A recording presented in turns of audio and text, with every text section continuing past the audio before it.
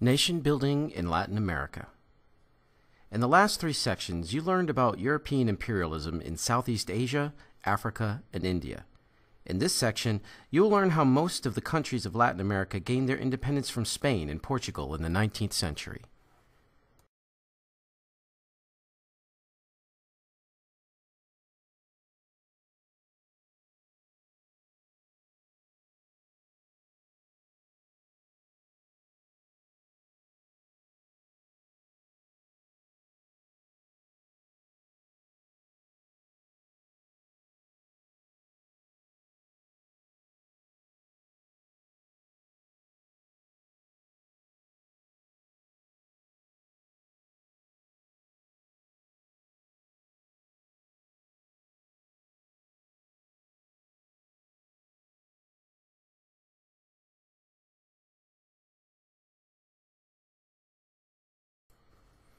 Nationalist revolts.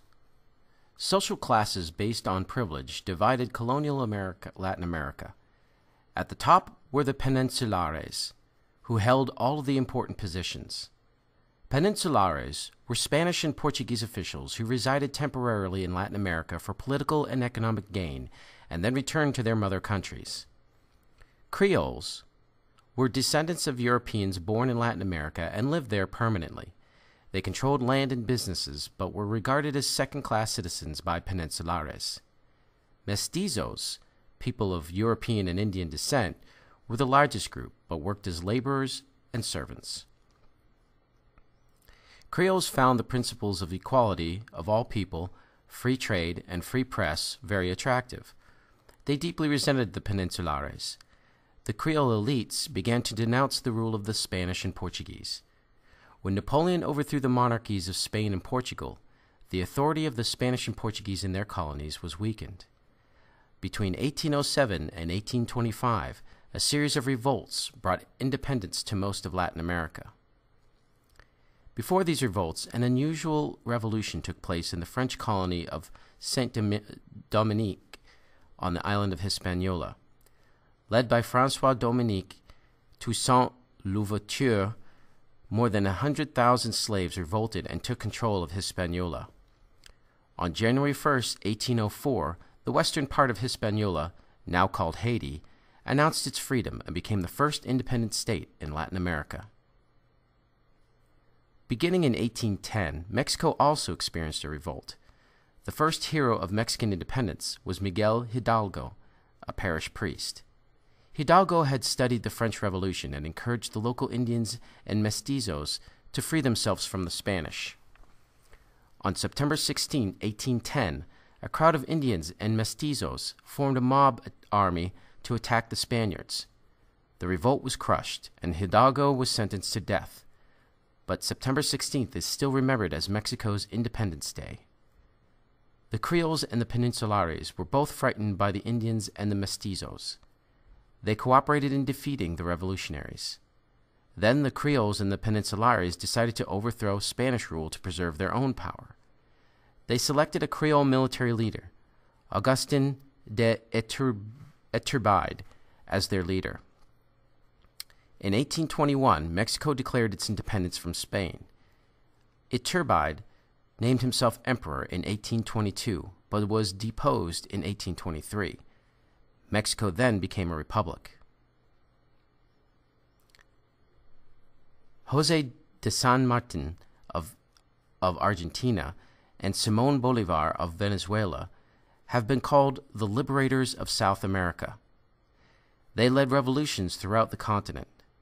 San Martin believed that the Spaniards must be removed from all of South America if any South American nation was to be freed. By 1810, his forces had liberated Argentina. Bolivar began the struggle for independence in Venezuela and then went on to lead revolts in New Granada, now known as Colombia, and Ecuador. In January 1817, San Martin led his forces over the Andes to attack the Spanish in Chile.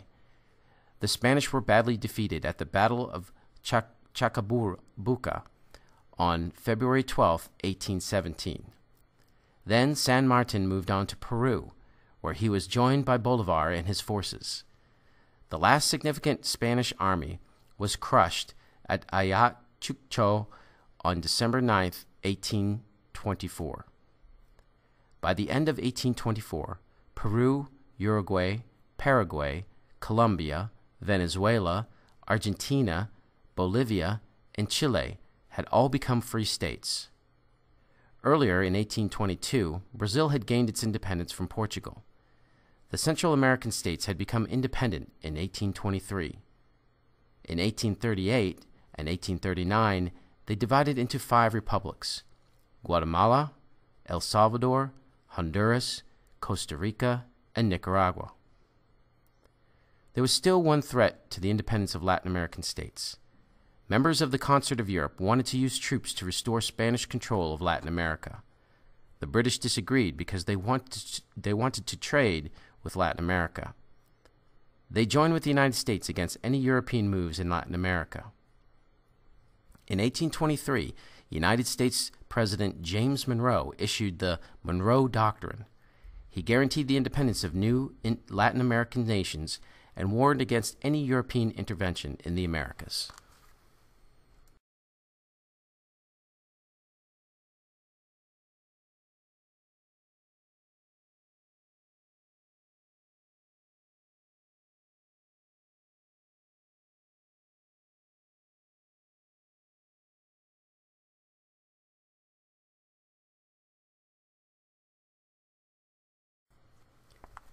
Difficulties of nation building. The new Latin American nations had serious problems after they gained their independence. Many people had been killed, and much livestock and property had been destroyed. The new nations were not sure of their exact boundaries and went to war with each other over to other to settle border disputes. Poor roads, a lack of railroads, thick jungles and mountains were also problems.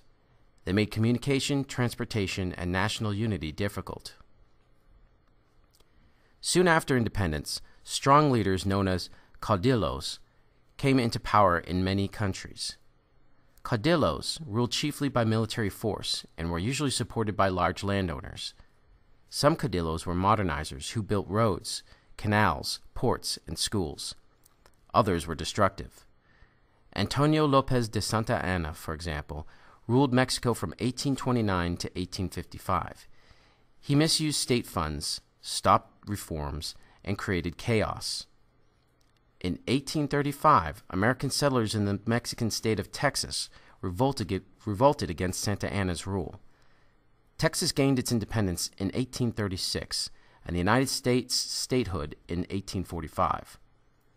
War between Mexico and the United States soon followed, between 1846 and 1848. Mexico was defeated and lost almost one half of its territory to the United States in the Mexican War. Santa Anna's rule was followed by a, period of reform from 1855 to 1876. Benito Juarez ruled Mexico during much of this time. He brought liberal reforms to Mexico, including separation of church and state, land distribution to the poor, and an educational system for all of Mexico. Some caudillos, such as Juan Manuel de Rosas in, uh, in Argentina, were supported by the masses and brought about radical change. Unfortunately, the caudillo's authority depended on his personal power. When he died or lost power, civil wars for control of the country often erupted. Great Britain now dominated the Latin American economy. British merchants moved into Latin America in large numbers. Latin America continued to serve as a source of raw materials and food for the industrial nations of Europe and the United States. Exports included wheat, tobacco, wool, sugar, coffee, and hides. Manufactured goods were imported, especially textiles. The emphasis on exporting raw materials and importing manufactured goods meant that the Latin American economy continued to be dominated by foreigners. A fundamental problem for all of the new Latin American nations was the domination of society by large landowners.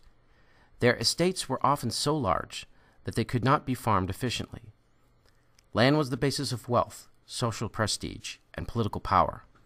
The large landowners ran governments and controlled courts. They made, hu- they made huge profits by growing export crops such as coffee. The masses had no land to grow basic food crops and experienced terrible poverty.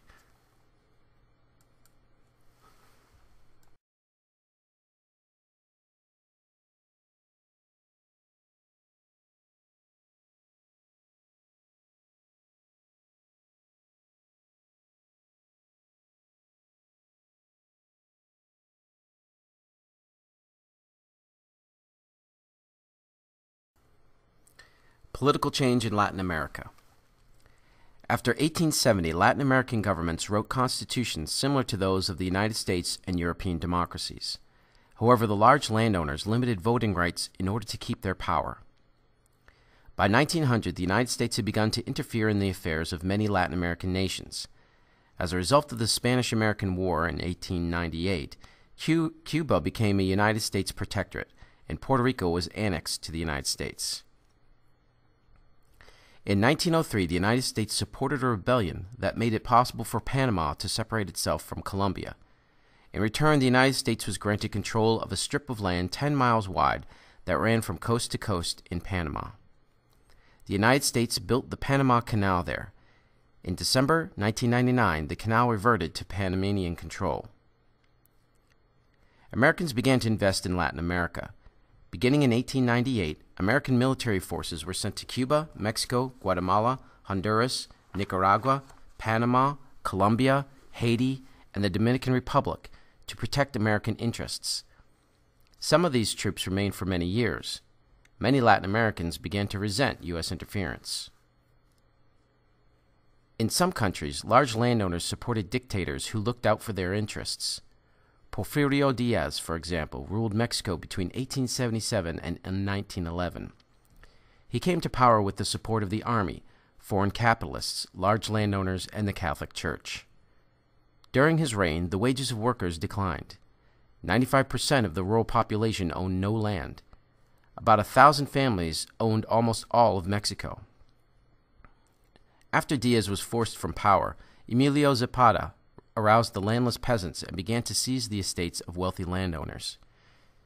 Between 1910 and 1920, the Mexican Revolution caused great damage to the Mexican economy. Finally, new, a new constitution was enacted in 1917. It set up a government led by a president. It also created land reform policies, set limits on foreign investments, and had an agenda to help the workers.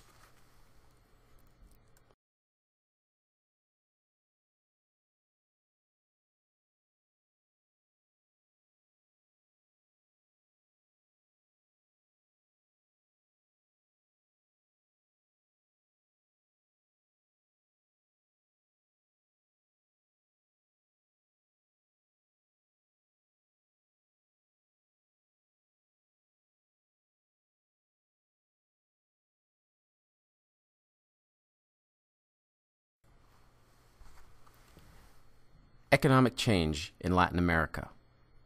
After 1870, a period of prosperity began in Latin America. It was based to a large extent on the export of a few basic items. These included wheat and beef from Argentina, coffee from Brazil, coffee and bananas from Central America, and sugar and silver from Peru. After 1900, Latin Americans also increased their own industrialization, especially by building textile, food processing, and construction material factories. One result of this prosperity was growth in the middle sectors divisions of Latin American society. These sectors included lawyers, merchants, shopkeepers, business people, school teachers, professors, bureaucrats, and military officers. These middle class Latin Americans lived in the cities, believed in education, and saw the United States as a model, especially in regard to industrialization. They sought liberal reform and not revolution. Once they had the right to vote, they usually sided with the landholding elites.